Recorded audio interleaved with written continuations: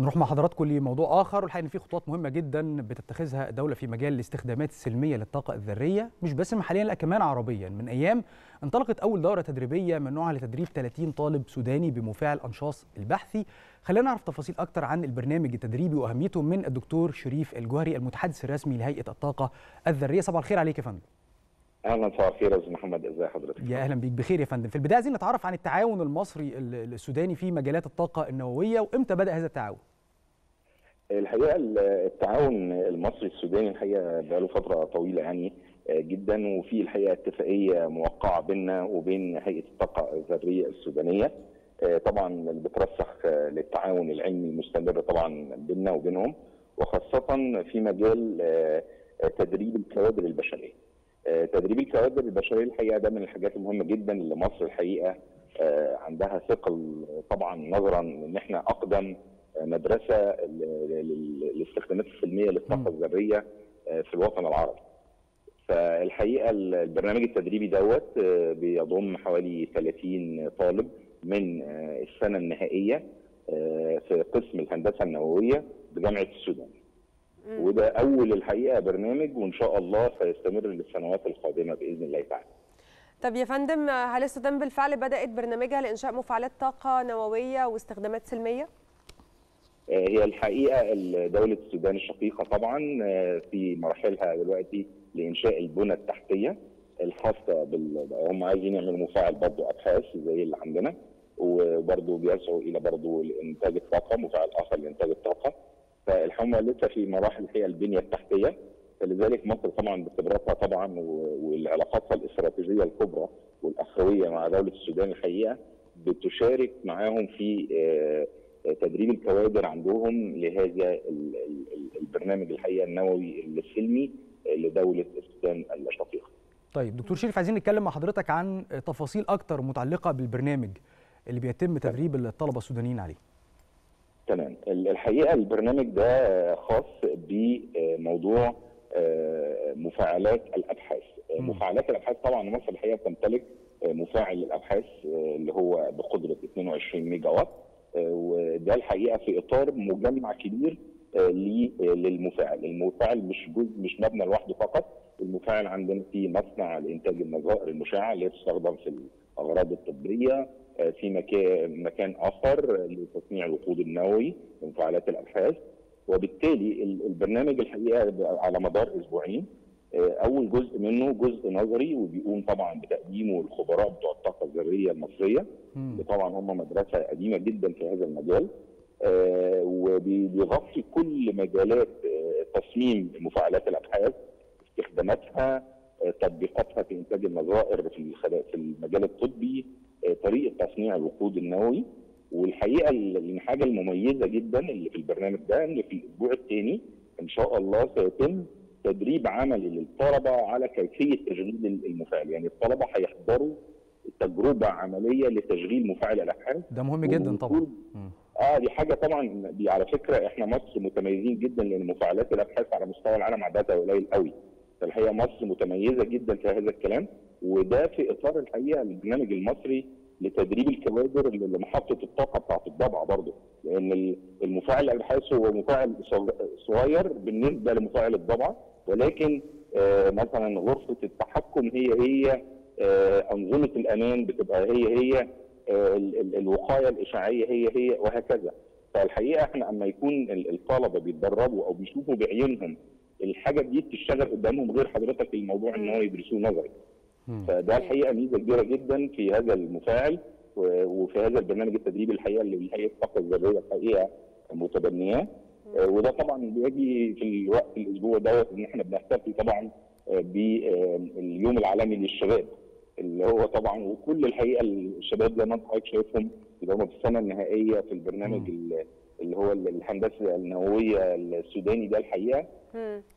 ده الحقيقة يعني فعلا حاجة يعني جيدة جدا. وإن شاء الله ستستمر مع دول عربية أخرى في آه إن شاء الله. في دو... إيه الدول المشابهة يا فندم اللي ممكن نعمل معاها مثل هذه البرامج التدريبية؟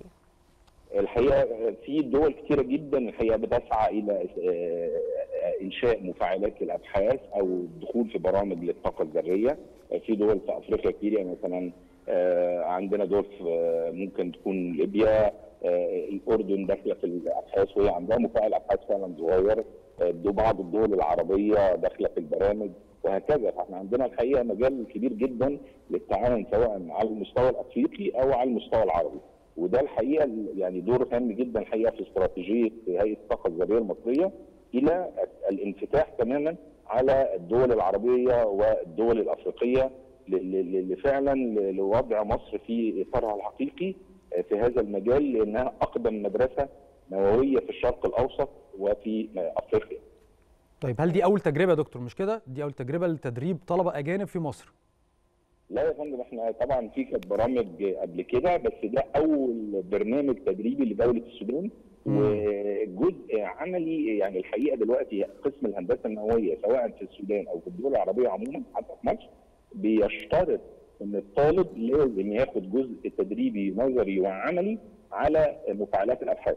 فده الحقيقة بقى يعني ما هواش حاجة يعني استثنائية لا ده حاجة أساسية في برامج التدريس آه، في قسم الهندسة النووية في عظيم الجامعات طبعا العربية والمصرية. مدته قد إيه البرنامج ده يا فندم آه، البرنامج طبعا الحقيقة ده يعني مضغوط شوية لمدة. أسبوعين طبعا ب- يعني من من الصباح حتى يعني للساعه 5 6 بالناس بتقعد مم. آه، وممكن يقعدوا أكتر عشان طبعا نحاول آه، الطلبة يستفيدوا بكل الإمكانيات اللي هي اللي موجودة وطبعا عندنا في كل يوم الحقيقة بيحصل زي نقاش عشان نشوف تقييم الطلبة اللي هم استفادوه وإيه الحاجات اللي مش واضحة وعشان نتلافاها في اليوم التالي وهكذا جميل موضوع النقاش ده يا فندم عشان تبقى كل الأمور بالفعل واضحة في ملف حساس زي هذا ال- الملف لكن الأهم بقى إيه اللي هيعود على دولهم لما يرجعوا لبلدانهم مرة أخرى وهم حصلوا على هذا البرنامج هيساعدوا دولهم بإيه اللي هيعود طبعا حضرتك أنت أول حاجة إن طبعا حضرتك كده عملت 30 سفير آه، لدولة السودان في هذا المجال بعد تعلمهم من هذا الكلام في مصر. مم. تاني حاجة على المستوى العلمي والتقني إن هو حضرتك يشوف الكلام ده نظري وعملي. يعني كيفية لأن بقول زي ما حضرتك مفاعلات الابحاث مش موجودة. يعني في غير عندنا وعند الأردن السعودية دلوقتي داخلة في المجال لسه بادية. المغرب عندها آه، القدرة المفاعل المصري 22 ميجا وات هو أكبر مفاعل ابحاث في الشرق الأوسط. وبالتالي ال- ال- الفرصة اللي أتيحت لهذه المجموعة 30 طالب وطالبة آه، من الاشقاء السودانيين آه، طبعا فرصة لا تعوض زي ما بيقولوا إن هو يشتغل ويشوف المفاعل بي- بي- بيوصل لل- للقدرة بتاعته إزاي يشوف. إنتاج النظير المشع إزاي هو اللي بيسمع عنه زي ما حضرتك كلنا بنسمع عنه. الطالب نفس الكلام فلما يشوف مم. الكلام ده عملي ويشوف إن الوقود بيتنقل إزاي من المفاعل لمصنع إنتاج النظائر وبعد كده في إنتاج النظائر بيتعاملوا معاه إزاي وإزاي آه، أعمال الوقاية عشان ما حدش يتضرر في هذه العملية آه، عوامل الأمان النووي وهكذا. الكلام ده حضرتك نظري حاجة وعملي حاجة يمكن. يمكن ده يا دكتور شريف اللي أنا حابة أسأل حضرتك فيه أكتر يعني. إيه هي المواد النظرية والعملية اللي يمكن بيدرسوها الطلبة دي؟ حضرتك عارف ان الموضوع ده مهم جدا فحابين نعرف أكتر عنه المواد اللي بيدرسوها وكمان المدربين. تمام. الحقيقة طبعا المدربين إحنا عندنا زي ما قلت لحضرتك إحنا أقدم مدرسة نووية في الشرق الأوسط. عندنا أساتذة في جميع تخصصات الاستخدامات السلمية للطاقة الذرية بداية من تصميم المفاعلات عندنا اساتذه هندسه المفاعلات استاذنا الدكتور مثلا محمد شعب ده من الناس الكبار جدا في هذا المجال آه، عندنا الأستاذة الدكتورة عصمت هانم دي قمة دي حضرتك كانت بتدرس في البرنامج النووي العراقي زمان آه، عندنا يعني. على مستوى التقني لل... للمت... لل... اللي بيدربوا عندنا أعلى مستويات حضرتك علمية بتدرب في هذا المجال. تاني حاجة بالنسبة حضرتك للجزء اللي بيدرسوه إحنا حضرتك بيدر- بيدرسوا آه، هندسة المفاعلات آه، الأبحاث. بيدرسوا مكونات الأنظمة اللي موجودة في مفاعل الأبحاث آه، حتة الامان النووي أهم حاجة في موضوع شغلنا كله في الطاقه الذرية وهو موضوع الامان النووي الامان. النووي حضرتك هو حماية المواطن وحماية المشغل وحماية المجتمع. إزاي ان هو من المفاعل ده يشتغل يبقى اللي بيشتغل يبقى. حاجة أو ما يتعرضش لأي إشعاع. البيئة الخارجية ففي قياسات بتتم وهكذا. آه، وهكذا. آه، في حتة مهمة جدا وهي إنتاج النظائر. طب المفاعل ده هو بيشتغل ليه؟ هو بيشتغل لموضوع الأبحاث وفي نفس الوقت بننتج بيه النظائر الطبية اللي بتستخدم لعلاج الأورام. فبالتالي الطالب يشوف إن اللي هو مش مجرد بيعمل أبحاث في هذا اللي هو اسمه مفاعل أبحاث.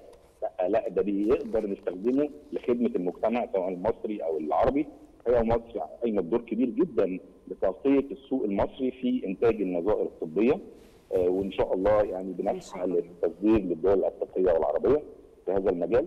فزي ما قلت البرنامج يعني مميز في الجزء النظري اللي فيه إن نتيجة إن هو يقعد مع أستاذ آه، بقاله 30 سنة في هذا المجال ده حاجة كبيرة جدا على فكرة مش قليلة لأن ال- الأستاذ ده شاف مفاعلات آه، اشتغل على مفاعلات هيديله الخ- بينقل للطلبة هذه الخبرة آه، وحتة زي ما قلت لحضرتك النقاشات مع الطلبة اللي هي طول اليوم. آه، دي من أحلى الحاجات اللي هي طبعا. اللي الطلبة بيستفيدوا منها ما هياش دراسات نظرية واحد بيدي محاضرة ويعرض برزنتيشن ويمشي لا ده بالعكس قاعد معاه الدكتور من عندنا قاعد معاه طول بتناقشوا اليوم. في اللي سمعه طبعا بالظبط كده. وفي طبعا علاقة ودية طبعا جدا جدا ما هياش في إطار زي الجامعة حضرتك قاعه محاضرات وخد محاضرة وامشي. لا. أو لا أو هتمتحن فيه. بالعكس إحنا ال- الفكرة كلها إن دول طلبة سنة نهائيه هيبقوا زملاء لينا آه، بعد شهور. آه، فالفكرة كلها إن هؤلاء هم آه، جيل الغد في السودان. وطبعا في الدول العربية فعشان كده هم سفراء في هذا المجال بإذن الله. تعالى عظيم جدا يا فندم. كل الشكر ليك دكتور شريف الجوهري المتحدث الرسمي لهيئة الطاقة الذرية. شكرا جزيلا يا فندم.